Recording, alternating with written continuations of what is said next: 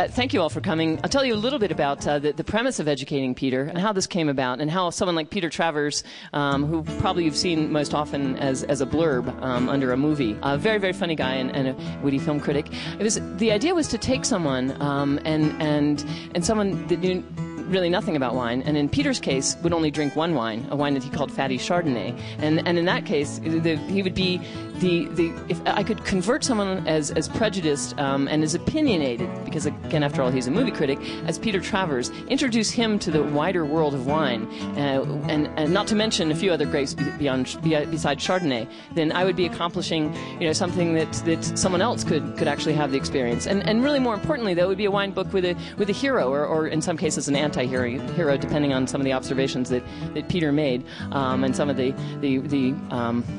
the comments and, and uh, feelings he felt about certain wines.